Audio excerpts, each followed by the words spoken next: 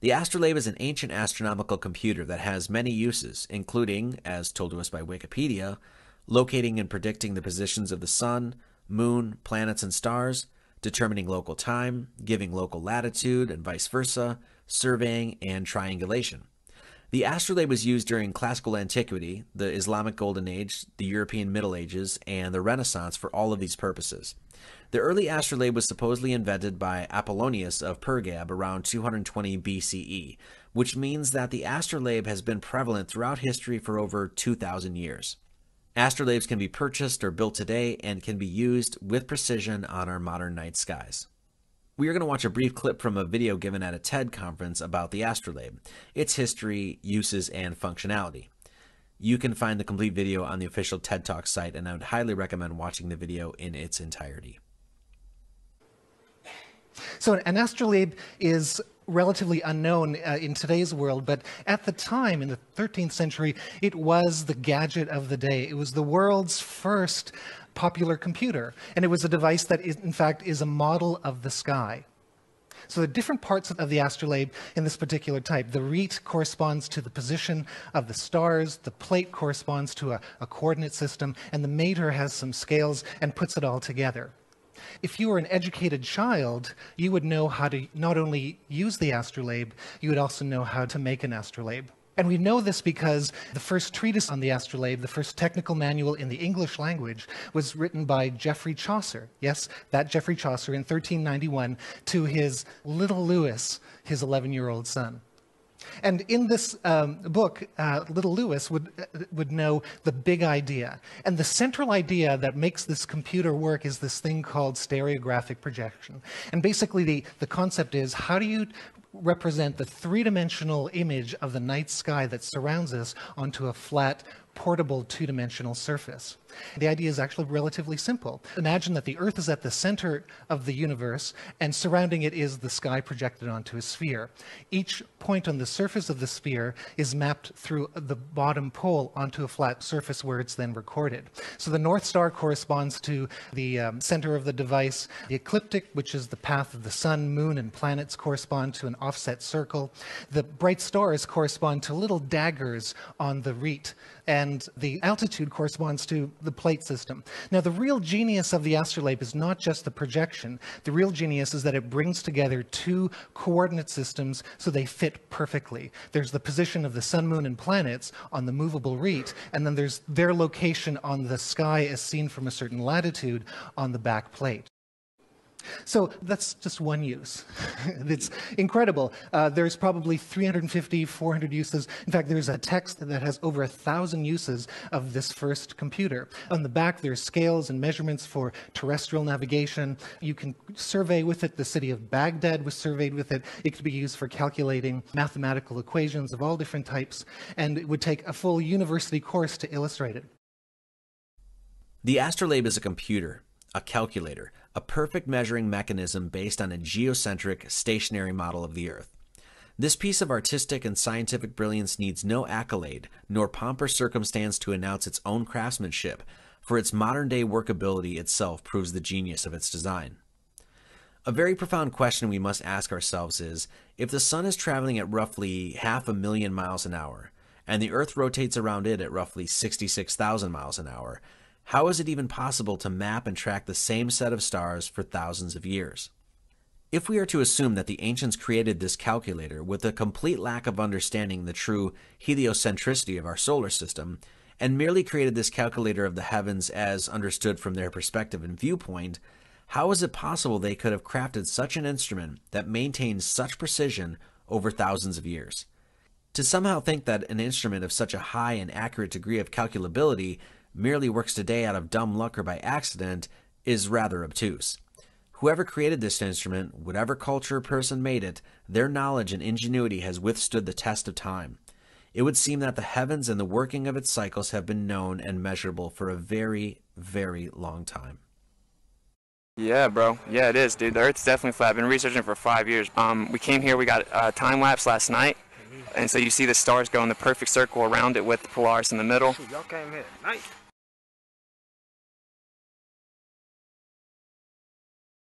Uh, a Foucault pendulum is a pendulum with a specially designed pivot, designed so that it can swing back and forth in any direction around the vertical. So that's in contrast to, for example, a grandfather clock, where the pendulum has to swing in a particular plane. Let's imagine that you have a Foucault pendulum and you're at the north pole of the Earth. When you set the pendulum swinging, you determine a plane in which the pendulum is swinging.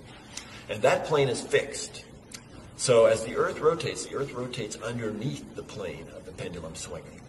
And so if you now go back and imagine that you're standing on the Earth, you see the plane of the pendulum rotate every 24 hours. Now, as you go to lower latitudes away from the North Pole, the time that it takes the pendulum, the plane of the pendulum to rotate around lengthens. And in fact, at the equator, the plane doesn't rotate at all.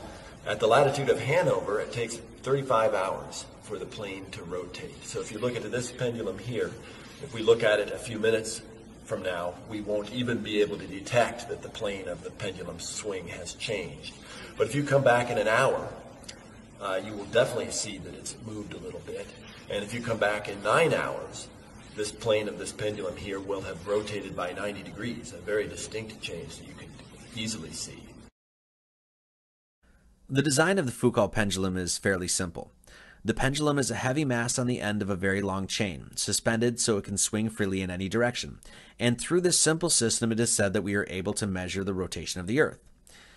According to the heliocentric model, the atmosphere is said to spin with the Earth, and hence the air above and the ground below are a closed system, and thusly spin and are linked together as the Earth rotates. This science is well substantiated within the physics community, and this quote unquote fact is not questioned. The entire mechanism and science behind the Foucault pendulum is based on the fact that the Earth spins below the pendulum, and the pendulum continues independently to spin on its own plane.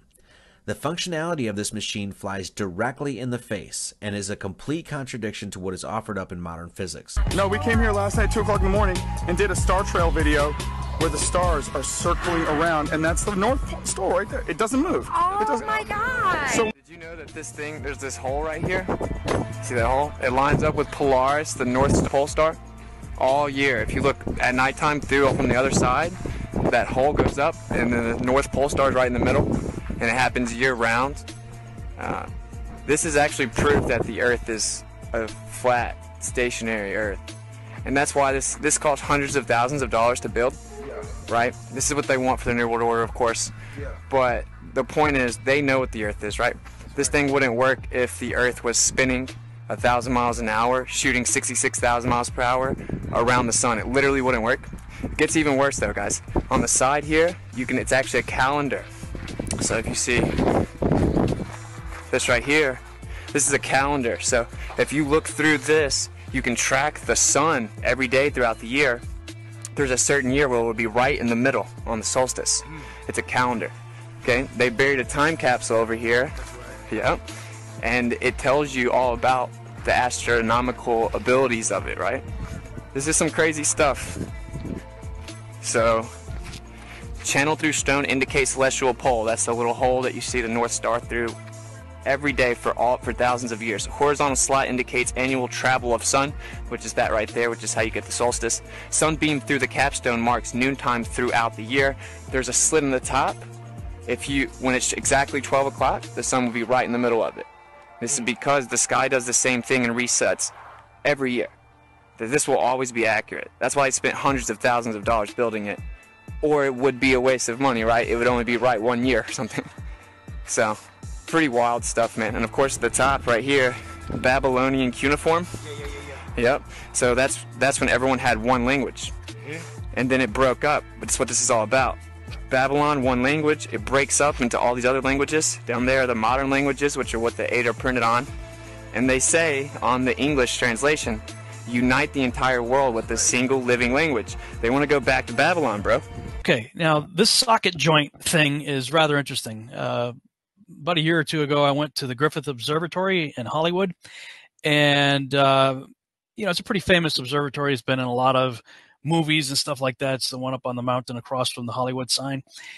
And uh, of course, when you, as soon as you walk in, immediately, as soon as you walk in the door, it, it's a, a, a dome, sort of like the Capitol Dome, in Washington D.C., and it's lined with paintings of science mixed with pagan gods. So there's your first clue right off the bat. You got science mixed with pagan false gods, which I would contend are um, fallen angels, Nephilim, demons. You know, they fall into that category. All right, so just below the dome, there you have uh, probably one of the more famous Foucault pendulums here in the United States. Now, listen to what the tour guide had to say about how this thing works. If you're wondering how we keep it going, we keep it going with an electromagnet. Otherwise, due to air friction, it would slow down. We'd have to jump in there every hour or so and give it a push. But our electromagnet keeps it going even after we close at night. It keeps going and going and uh, swinging back and forth even after we close. Because there's an electromagnet gently pushing this, overcoming the laws of gravity and wind resistance. Otherwise, the pendulum would slow down and stop spinning. So, otherwise someone would have to go down there, like when it was originally invented, and keep pushing the pendulum every so often to keep it in motion. Otherwise it would slow down, and every 15 minutes we'd have to go down there and push 240 pounds of brass to keep it in motion. So there's some kind of magnet making that thing move? In the ceiling, there's the blue ring up there. You want to look up there? The magnet is helping overcome the force of gravity, keeping this pendulum in motion. Otherwise, it would slow down and stop like the smaller model will do here in a short amount of time. So I wanted to do a video on something called a Foucault pendulum. You also hear it called a Foucault pendulum. Um, these are pendulums that are uh, supposed to demonstrate the spin of the Earth, but not everyone realizes that they actually have a magnetic uh, drive um, plugged into electricity uh, that keeps them moving. Now, um, the only reason I know this is because I worked for a construction company that installed one. So I just wanted to uh, do some mathematics real quick. Um, if this astrolabe could work on both the flat Earth and the and the globe, well, let's do some math. If every single latitude is 69 miles apart, if you were to put all those latitudes in a row, so we got 90 latitudes from the North Pole to the equator, that would make a radius of 6,210 miles, right? Because 69 times 90 is that answer. If you were to try to figure out the circumference, it's 2 times pi times the radius, which would give you an, an equator of 38,998.8 miles. 38,998.8 miles. That makes the edge of the earth, if it's at 90 degrees south, right? That would make a radius of 12,420 miles and a circumference of 77,997.6 miles. So, how would this astrolabe work below the equator if it was uh, you know able to work on two grid coordinates if each latitude is 69 miles apart? See what I'm saying? I don't know. I'm a nerd, man. I love math, so that's just what I was wanting to bring everybody's attention. You know, the Earth is flat. If if the uh, distance between the uh, uh, latitudes is, is accurate, then according to the math, that's what it is. It's not 24,901 miles at the equator like they say. And this astrolabe was built well before they were talking about a globe. This astrolabe was built before Jesus Christ was on the earth. 280 BCE or something like that, or 220 BCE. I'll give you 200. Whatever. You know what I mean?